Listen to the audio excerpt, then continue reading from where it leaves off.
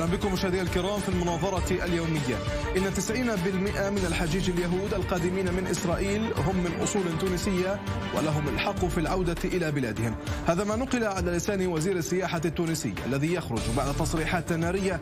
تحدث فيها الرئيس التونسي عن اعتبار التطبيع مع إسرائيل خيانة عظمى. هل ما يخرج على لسان لسان قادة الدول العربية؟ ما هو إلا تصريحات للاستهلاك الإعلامي؟ هل يستغل بعض القادة القضية الفلسطينية لتحريك الشارع باتجاه دعم وجودهم؟ في المقابل ألم يقل الرئيس التونسي بأنه لن يسكت عن أي مطبع مع إسرائيل؟ أليست تونس البلد الذي أنتج رئيسا منتخبا ديمقراطيا يرفض أي علاقة سرية وعلنية مع إسرائيل. نبدأ المناظرة.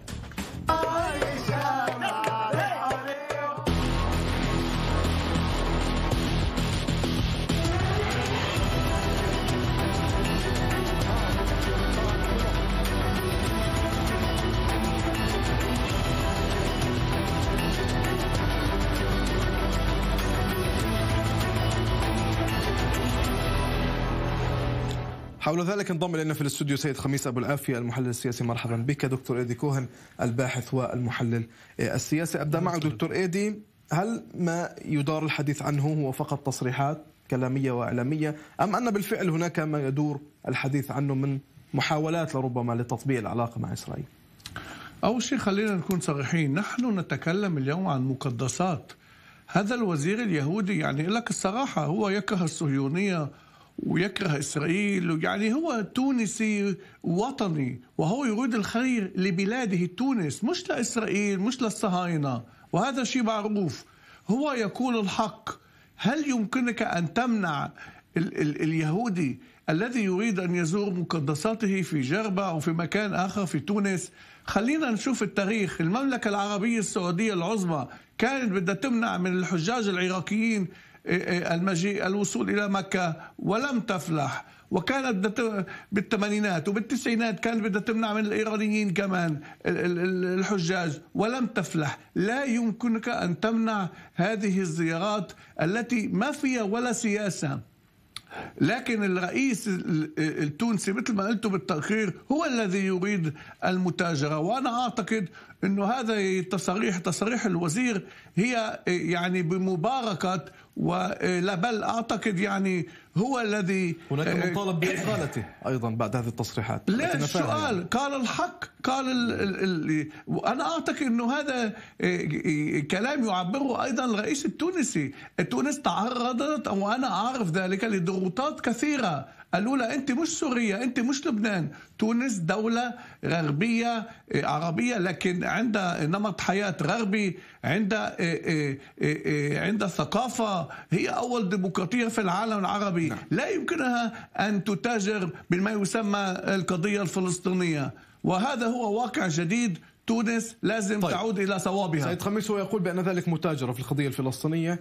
وكما قال في مرات سابقة كل من يتحدث عن رفض التطبيع تحت الطاولة يطبع. كيف ترد على كل هذا أولا وقبل كل شيء أود أشير إلى نقطة مهمة جدا بأن إلى إلى وجود فعلا متاجرة بالقضية الفلسطينية من قبل حيز من زعماء وقادة كل العرب ولكن إنما ليس هذا الحيز لا يشكل جميع الأنظمة العربية وجميع الدول العربية والإسلامية. رأينا موقف الرئيس التركي رجب طيب أردوغان الواضح فيما يتعلق هذا أول بدعمه لا بدعمه بدعم القضية الفلسطينية. الرئيس التونسي يعني يعني قال أطلق تصريحات هنالك من يقول بأن هذه التصريحات تندرج في إطار الحملة الانتخابية. وبعد أن يتقلد سدة الحكم سيرى بأن هنالك ضغوطات ما يقال في الحملة صحيح. الانتخابية. لا ولكن أنا أعتقد بأن هنالك أيضا شواذ ما بين قوسين مزدوجتين. انظر إلى الرئيس دونالد ترامب. أطلق أطلق باقورة من التصريحات على غرار ما فعل القدماء من المرشحين للرئاسة في الولايات المتحدة الأمريكية. ولكن هو على نقيض من الباقي الذين أطلقوا وضع هذه لائحة الوعود كل فترة يطبق وعدا معين ويشير إليه بالبنان لقد طبقت. وعد بأن يقوم بنقل السفارة الولايات المتحدة الأمريكية من تل أبيب إلى القدس من وجهة نظري هو طبق وفعل ذلك. وعد بالاعتراف بحقية إسرائيل على القدس كعاصمة لدولة إسرائيل فعل ذلك وحط الفي. ما أود أن أقول بأن هنالك ما يعرف هنالك من قد يغرد خارج السرب. فيما يتعلق بالوزير اليهودي أنا أود أن أقول شيئا يعني يعني قد أنا لا أعرف إن سيوافقني إياه زميلي هنا أم سيعارضني. أنا أعتقد بأن كل إنسان يقول ويبوح بأنه يكره شعبه ودولته أو دولة شعبه. أنا يعني أنظر إليه بارتياب وبشكوك. أنا كنت أتوقع منه أن يقول بأن إنني يهودي فخور بكوني يهودي ولكن أود أن أشير بهذا لا يعني بأنني أؤيد سياسة حكومة بنيامين نتنياهو تجاه القضية الفلسطينية. حان الوقت لإسدال الستار على الصراع الدامي ما بين أبناء شعب اليهودي والشعب الفلسطيني من خلال إقامة دولة فلسطينية إلى جانب دولة إسرائيل. أما يأتي ويقول بأنه يكره إسرائيل ويكره مش عارف إيش أنا أعتقد بأن هذه تصريحات يعني لا تقنعني بل تبعث إلى الإشمئزاز وعلى الإشمئزاز من رجل يؤكد من خلال تصريحاته على أنه هو يعني يضع مصلحته الشخصية فوق كل المصالح يعني الموقف لا زال نفسه التونسي فيما يتعلق بالتطبيع بعد تصريحات الرئيس المنتخب ديمقراطيا قيس سعيد. هو قال ملاحظة أنا يعني لا أحب أن أتفق معه ولكن قال ملاحظة يعني يشار إليها بالبنان قال بأن يعني تونس هي ليست سوريا وليست لبنان فعلا وليست حتى الأردن وليست مصر إنما تونس لم تكن في يوم من الأيام في في إطار المحور الذي جابه جابها إسرائيل عسكريا. طيب. نعم كانت تونس داعمة للقضية الفلسطينية ولكن هي لم تنخرط نعم. في في في ساحة الوغى في القتال إلى جانب مصر وسوريا. رئيس منتخب ديمقراطيا رفض التطبيع. حتى هو قال بأنه سيمنع جوازات السفر الإسرائيلية واصحابهم من دخول تونس. عكس ما قال أول شيء يعني بدي أعلق على المقارنة أنا ما حبيت هالمقارنة لأنه بيعمل لي مقارنة بين فخامة الرئيس ترامب للاخوانجي الاخوانجي كايس دونالد ترامب من وجهة نظري لا يرتقي إلى إلى يعني لا إلى إلى مستوى لا لا هذا ملك يعني اسرائيل لا لا هذا ملك إسرائيل أنت ترامب ملك لا نحن نحب ترامب. أنا أحبه شخصيا. هذا هذا هذا يسيء إلى مصلحة دولة إسرائيل. لا شخص هذا هنالك من يقول الله يرحم من بكى علي وبكاني الله لا يرحم من ضحك علي وضحكني هذا يضحك عليكم من خلال بيع التصريحات والمتاجرة في مصلحة اسرائيل استراتيجيه هذا رجل لو بدك العالم العربي كله يحترق ويلتهب جيب ترامب حطه على رأس دولة عربية بتشوف كيف بيعمل. أنتوا ناقصكم ترامب. مش أنتوا الدول العربية. أساء ليس فقط إلى القضية الفلسطينية إنما زاد الفلسطينيين قوة وعزيمة ترامب الموضوع تونس يا سيد خميس ودكتور إيدي. دكتور إيدي دكتور إيدي سيد خميس الموضوع تونس.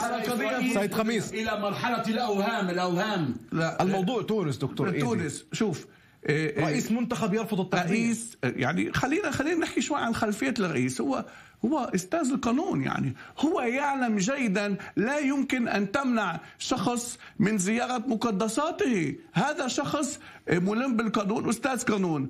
هلا الخلفية الثانية هذا إخوانجي. هناك تناقض هناك يعني هو إخوانجي و يؤسفني أن كل من يعارض أفكار الخليج وأفكار دونالد ترامب وأفكار هذا اخوانجي لا لا لا. لا تعنونونه وكأنه اخوانجي يعني عليك أنتم ما تبتغونه لا هو يعترف بذلك. يقول دوما yes yes لرئيس دونالد ترامب وللخليج ولرئيس يعني هل هل هل, هل النهضة كانت كانت دعمته لو ما, ما كان اخوانجي لا ما في مشكلة. أنا ما عندي مشكلة. أنا لا لا ما عندي مشكلة مع الرئيس التونسي. ما عندي مشكلة معه. المشكلة هو محاولات المحاولات السابقة. هلأ خلص صار بسدة الحكم ما حنسمع شيء منه خلاص بتركن قبل, قبل هلأ ما حنسمع. التقينا في هذا المنبر اظن أنا وياك في مشروع كان في موضوع قبل الانتخاب. في ملف. قبل لا لا كان قبل انتخب رئيسا. حول التطبيع يعني الأيام أقول لك بأن يعني تابعت كل ردود الفعل للمناظرة بيننا ورأيت ردودا فعلا ردود فعل قاسية وواضحة من قبل الأطياف العرب لا سيما السونسيين من خلال تعقيباتهم ترى بأنهم يؤيدون موقف الرئيس المنتخب في تونس. نعم هذا منتخب وأيضا يؤيدون موقف بخصوص في يعني هناك آه، هناك شعوب عربية تكره إسرائيل هذا شيء يعني معروف يعني مش بس بتونس شوف بالجزائر. ولكن طالما كنت تمجد في في الحكام دكتور إيدي الان يوجد رئيس نحن وحاكم. نحن أنا قلت لك لا يتوافق. الشعوب العربية أغلبيتها إيه، إيه، مرسول دماغها تكره إسرائيل هذا هو نحن بنشوف بالجزائر وتونس بالجزائر أكثر. لكن إيه، الحكام العرب لما بيوصلوا لسدة الحكم مثل الرئيس قيس سعيد الآن يرى الأشياء مختلفة. الآن يلتقي مع ماكرون مع رئيس فرنسي مع رئيس أمريكي مع الغرب مش مع العرب والمتاجرة بالفلسطينيين من يقول بأنه لا يمكن أن يخرج عن الحلف الأمريكي الفرنسي الخليجي لربما. يعني أي رئيس ينصب في موقع كهذا؟ يعني لا يمكن أن يخرج بتونس أو يغرد بها أنا أعطي خارج عن أنا أعطيك موقف تحليليا للموضوع. قالوا قالوا عن قالوا عن رجب طيب أردوغان في حينها بأنه جزء لا يتجزأ من حلف ناتو. ورأينا بأنه يغرد أكثر وغرد ويغرد خارج السرب واتخذ موقفا في سياسة خارجية. يعني بمنأى عن حلف ناتو ولم ترضي الولايات المتحدة الأمريكية ولم ترضي ولم ترضي الله يعطيه العافية ويحطوا 50 سنة من تركيا. أنا لا أردوغان هذا محاولة. أكبر حليف لإسرائيل. هذه لا, لا هذه كلمة حق يراد بها باطل. نحن نعرف دق الأسفين. سياسة أكبر حليف لإسرائيل. هلا قيس قيس السعيد أستاذي أستاذي. قيس السعيد قيس السعيد علم اسرائيلي هو يعني هو قد ترى يعني يعني قد قد يتهمه البعض وكأنه أعطى تصريحات نارية ضد اسرائيل والشعب اليهودي. لا هو قال بالأمر الواضح يعني إنه خيانة عظمى الذهاب إلى تطبيع دون حل القضية الفلسطينية حلا جذريا عادلا. ونحن قلنا في يعني حينها وأردد وأردد وأرددها اليوم. أقول أقول أنا مع التطبيع ولكن التطبيع القوي الوطيد الذي لا يذهب أدراج الرياح مجرد هبوب رياح العاصفة. وهذا ولا يمكن طيب. إلا من خلال القضية الفلسطينية. تونس شو خاصة بالقضية الفلسطينية؟ العرب أنتم يا عرب أنا بحكي مع المشاهدين العرب أنتم يا عرب خلي العقل يحكمكم مش بس العواطف. شو خاصة شو مصلحة هلا؟ شوف الخليجيين. الخليجيين مصلحتهم مش القضية الفلسطينية وبيعرفوا مصلحتهم. لك هلأ تونس والجزائر شو خصهم؟ خلي العقل يحكمكم مش العواطف. فلسطين إحنا عندنا مشاكل مع الفلسطينية نحن نحلها. لكن ال ال ال الشعوب تطلع بالملعب تحكي فلسطين فلسطين. أن يقوم دكتور مثقف زيك يقول لك إنه إيش دخلهم بالقضية. هنالك روابط مشتركة ما بين الشعب الفلسطيني والشعب التونسي والجزائر والسوري والخليجي والمصري والأردني. أول رابط الثقافه رابط الدين. رابط الدين رابط الوطنية رابط الثقافة رابط الحضارة. وتاتي أنت وتقول شو دخلكم أنتم يعني هذا إن ذلك في القياس لصعيب يا دكتور. أنا أقول لك القضية الفلسطينية هي الهم الأول للشعوب لا العربية. كانت لا, لا لا وما زالت وما زالت. لا. أنتم تذهب الستينات مع جمال عبد الناصر الكومية شو جابت لكم يا عرب هذه الكومية والاخوانجيه شو جابوا لكم؟ والمتاجرة بفلسطين شو جابتكم شوف الدول العربية وينهم؟ كلها اللي فيهم بيكفيهم من السودان للجزائر لسوريا لليبيا للعراق للبنان. في دولة بعد ما قلتها كلها هذه الدول تحترق وتلتهب. لماذا؟ من شغلتين سببين. أول شيء لأنها بعض هذه الدول ضغط وقمعت اليهود وثانيا لأنها تتاجر بالقضية الفلسطينية. لا, لا هي تحترق لوجود سببين. أنظمة فاسدة أنظمة تلاعب بمصالح الشعوب كلهم لمصالح الغالبية لما القضية الفلسطينية. أقول لك بأن لا لا اسمع عندما أنت تواجه مشكلة بشكل خاص تذهب إلى حل أو تلجأ إلى حل مشكلتك هذا لا يعني بأنك تتغاضى مشكلة شقيقة أو أخوك. ما أود أن أقول القضية الفلسطينية هي في أفئدة وقلوب كل إنسان عربي. يحلم يحلم بزيارة الأقصى. الأقصى هو جزء لا يتجزأ من القدس الشرقية التي يعني يراد منها أن تكون عاصمة الدولة الفلسطينية عندما تقوم إلى جانب إلى جانب دولة إسرائيل. الأقصى لو كان بيد الفلسطيني ما كان في أقصى. إسرائيل تحافظ على الأقصى، الأقصى لو كان بيد الفلسطينيين كانوا يقولوا لك 20 دولار للدخول الفل... شوف السعودي المسكين ما خلوه يدخل. الأقصى لو كان ب... أنت تحكي عن هذا المدون المعتوه؟ لا احترمه لا لا لا لا, لا. هذا مدون معتوه هذا محمد سعيد. هذا مدون معتوه. سعودي هذا مدون هذا معتوه. طالب طالب ال...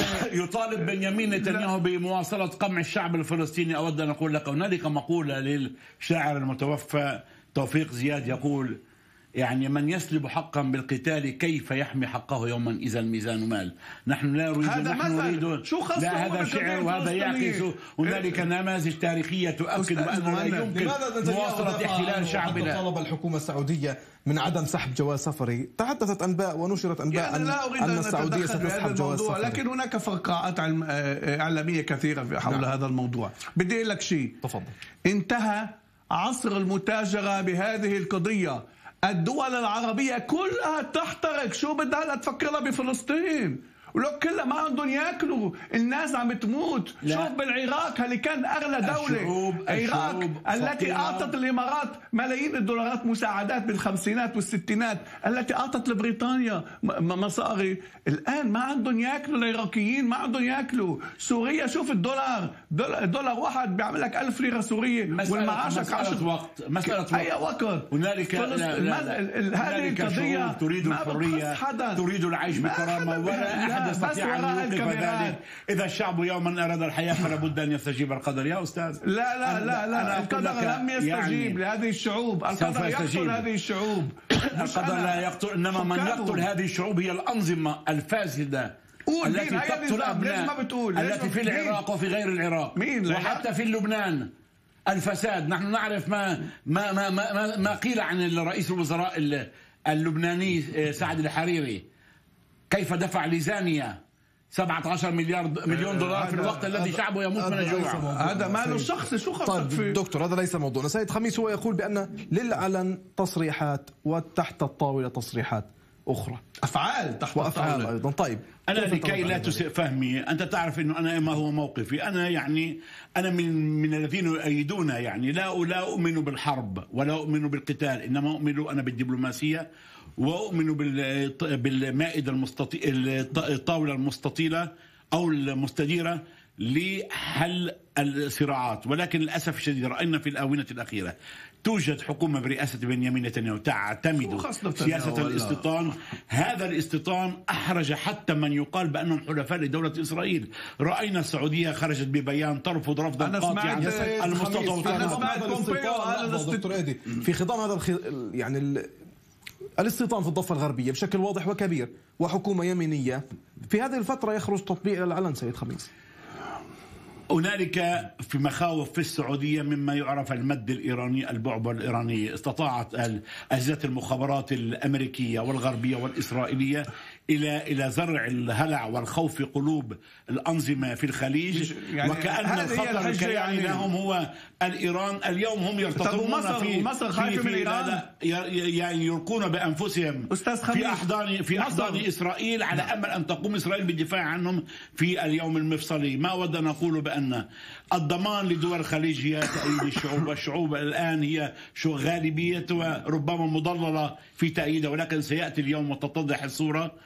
وسيفهم كل إنسان عربي بأن هنالك أنظمة كانت قد ضللتهم عندما تسمع عن ليبيا التي تنعم بالنفط فيش فيها حتى مستشفيات يشار إليها بالبنان. تسمع دول عربية عندها نفط توزع البليونات الدولارات على على على تفاهات ترى بأن لا توجد فيها أدنى أدنى الأشياء التي بحاجة إليها الإنسان العربي في دوله وبدك في الدول. بدك يقول لك فلسطين. قيس السعيد قيس السعيد. هو يقول ذلك يعني بأن لا يهم يا سيدي. لا أنت تناقض نفسك لا لا لا يهم بالقضية الفلسطينيه هنالك يا عمي في هنالك عندهم يعني باكوره باكوره آه مصالح منها المصلحة الذاتية تحسين الظروف المعيشية. هنالك أيضا توجد لديهم الرغبة في الكرامة وهنالك أيضا القضية الفلسطينية لا تؤمن. يا عم أنا شهدت مصار إيه، مباراة ما بين منتخبي الجزائر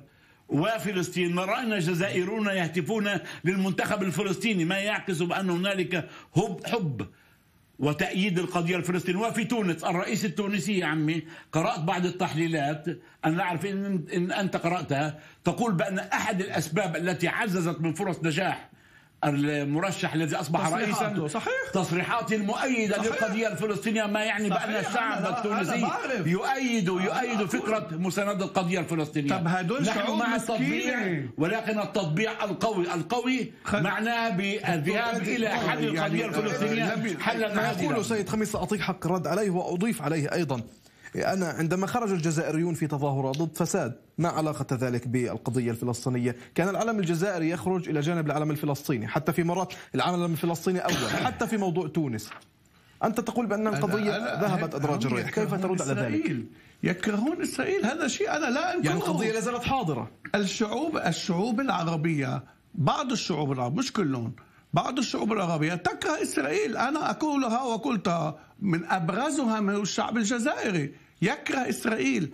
لكن هذا لا يعني نحن شفنا بوتفليكا مع باراك باراك كيف بوسوا بعضهم لما شافوا سنة 99 هذا لا يعني انه انه إنه الحاكم العربي سيسمع للشعوب. الشعب الشعب لا حول ولا الذي عانى من الاحتلال الفرنسي الشعب الجزائري الذي دفع أكثر من مليوني شهيد بدماء أبنائه من أجل تحرير الجزائر.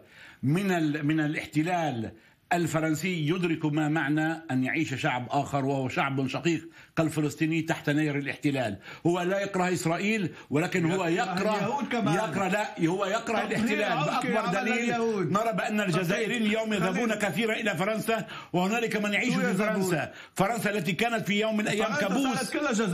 كابوس بالنسبة لكل جزائري هم لا يكرهون إسرائيل يكرهون الاستيطان يكرهون حكومة بنيامين نتنياهو لا يكره إسرائيل.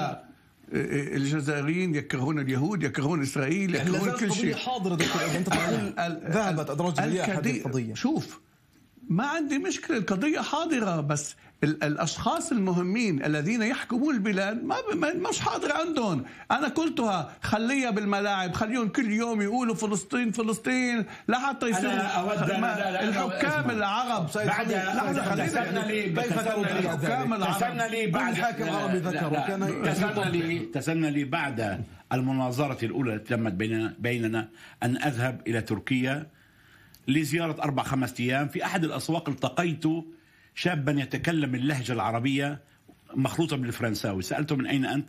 قال لي من تونس. وقلت له وسألني من أين أنت؟ قلت له من تل أبيب. أنا فلسطيني أعيش في جنوب تل أبيب. تبادلنا أطراف الحديث. فقلت له يعني شاب يعني يعني كمداعبة زرنا في تل أبيب. قال إن شاء الله إن شاء الله عندما تحل القضية الفلسطينية. هذا يكره إسرائيل. هذا يقول لك أنا لا أستطيع أن أفكر بزيارة إسرائيل أو تل أبيب حتى يتم حل القضية الفلسطينية ولكن هم يريدون أن يبرروا سياستهم الاستيطانية تجاه شعب أعزل كالفلسطيني من خلال التلويح وكأن هنالك كراهية لإسرائيل أقول لك لا يكرهون إسرائيل ولكن لا يحبون سياسة بنيامين أنا وجهت خليل أنا وجهت نداء هلا من قبل شوي للشعوب. العربية وقلت لك العواطف تحكمهم. غسيل دماغ خمسين سنة أنه إسرائيل تهدم الأقصى وتأخذ الأقصى وتحتل الأقصى والصور والأكاذيب وتلفيق الأحداث. كل هذه الأشغال يعني الأمور أدت إلى كره هذه الشعوب. إيه، إيه، هذا واحد. يعني, يعني في كره. الشعوب ليست مغفلة أيضا دكتور إيدي. يعني ترى ما مرسول دماغها لا أقول هي مغفلة. مرسول دماغها. لكن لكن الحكام استيقظوا وشافوا كل شيء. شوف الخليجيين. شوف الخليجيين أنت تريد في المدون السعودي في المخبول مش بس. إيه، وتروح به وكأنه هذا. هذا لا يحب إسرائيل الخليج هذا معتوه هذا هو خليج جديد. هذا لا لا لا لا لا لا, لا, لا أنت لا تواكب ما ما أنا أواكب دوما ما يدور في في اليوتيوب وأرى هنالك يعني يعني خطابا مختلفا تماما عن دعم الخليجيين وهنالك من يقول من الخليجيين. الكثر يقولون بأن ما يقال وما يروج حتى من قبل ولي العهد السعودي هو لا يعكس الموقف الداعم للشعب السعودي بأغلبيته للقضية الفلسطينية. نعم. يعني إيه، إيه، أنا أنت بتعرف شو دائما أمام الكاميرات لن يكون لك الحقيقة. الحقيقة من جمعتين كان في هون وفد صحفيين وكان في سعودي وكان في كويتي حتى. بيقولوا لك الكويت ما بيطبعوا. كان في سعوديين وكويتي هون في إسرائيل. هذا أولا. من شهر كان في شخصية إيه، إيه، خليجية تحكمت بإسرائيل. لك خلص حاجة تضحكوا على العالم. الخليجيين بيعرفوا يعني الكويت تطبع مع إسرائيل؟ إيه، وراء الكواليس موقف الكويت معروف أيضا في إطار ذلك. عندك عندك هذا الكويت الذي مرزوق الغانم هذا يكره يكره يكره شعبه يكره البدون يكره يقتل البدون هذا. انت انت أنت أستاذ جامعي أقول لك سؤال يعني يقمع شعبه. بدك المناظرة. بدك هنالك نموذج واحد تاريخي يشير أو يؤكد إلى يعني استمرار الاحتلال لشعب آخر على مدى التاريخ. أعطيني نموذج واحد. هنالك شعب ألا تؤيد حل القضية الفلسطينية؟ حل القضية الفلسطينية؟ حل القضية الفلسطينية؟ حل القضية الفلسطينية؟ حل القضية الفلسطينية؟ لا لا لا. هل هل هل تؤيد حل القضية الفلسطينية حلا عادلا؟ نعم. يبقى فيش مشكلة بيناتنا. نعم. إن شاء الله تنحل القضية نعم. الفلسطينية نعم. ويكون تطبيعا حقيقيا لما بين تونس وباقي الاقطار العربيه مع إسرائيل. هذا ما نريده. فخص تونس لم يبقى لي الوقت سيد خميس بالعافيه المحلل السياسي شكرا جزيلا لك. ودكتور إيدي كون باحث المحلل السياسي. شكرا. شكرا جزيلا لك. مشاهدينا الكرام بهذا وصلنا إلى ختام المناظرة اليومية. نشكر لكم حسن المشاهدة. وإلى اللقاء.